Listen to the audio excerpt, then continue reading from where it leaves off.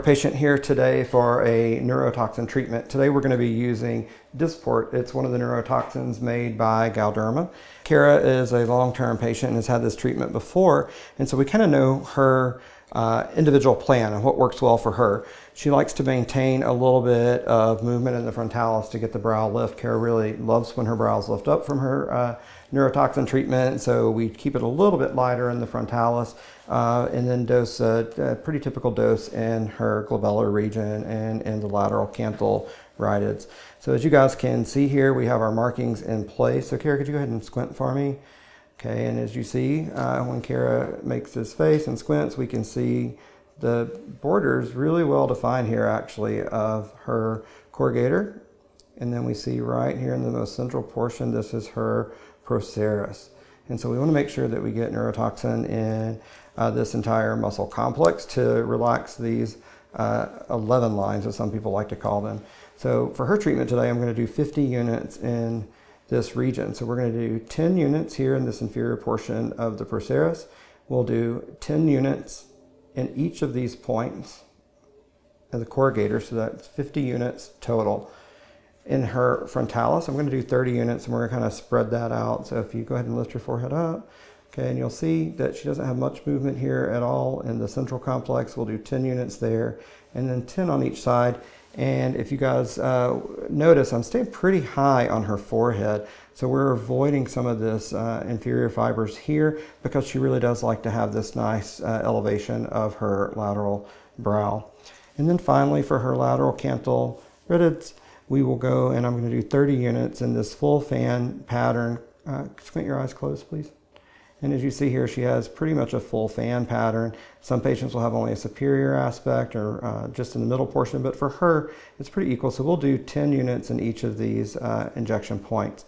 Uh, just for your reference, this is her orbital rim. So we are about one centimeter lateral to the orbital rim, and I will inject away from the eye. So for injections, I'm using a 1cc syringe with a 30 gauge half inch needle. Today we're going to be using Dysport. So for these procedures, I do like to use a pinch technique. And so with this technique, I'm using my uh, non-injection hand to isolate the procerus here in the central portion. I'm not going to inject through the marks. I'm going to just go right below that. One, two, three. Okay. This is a uh, fairly deep injection and for 10 units there, with the dilution that I'm using, that will be 0.05 mLs.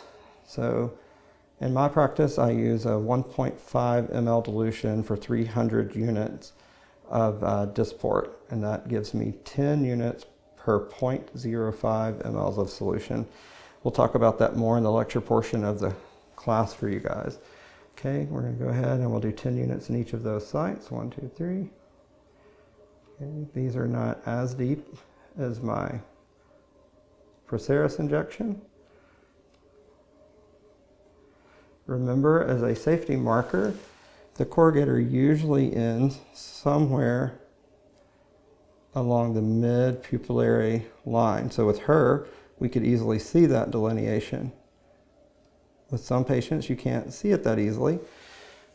And if you can't, you can always have them look straight ahead. And if you look at her mid-pupillary line, that lines up almost perfectly with this line that we had that we could see where her corrugator would stop. For our forehead injections, we're going to change our angle ever so slightly just to keep these superficial. We don't want to hit the bone. If you do, it's not a big deal. One, two, three It's just not our target area. It won't hurt the patient. Traditionally, we would actually be taught to hit the bone and back up, but it's just not necessary and gives a little bit increased risk of a headache.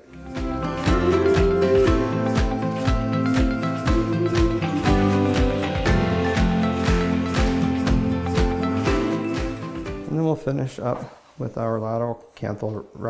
And so look for any little veins around the eye. This is a very vascular area. And I don't know if you can uh, see this on the camera or not, but there's a tiny little vein that's going right by where I put my mark. So I'm just gonna go just right below that. One, two, three. Because again, we really just don't want to bruise the patient if we can avoid it. One, two, three. These are very superficial. You'll see the little wheals coming up. Okay. Okay.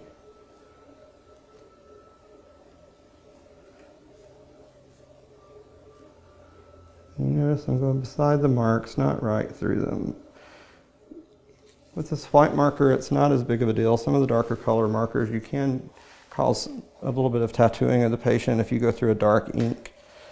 So just be aware of that.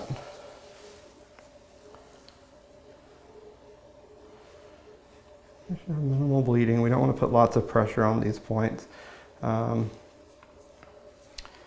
for our post-procedure instructions, we're going to tell the patient, it's kind of take it easy.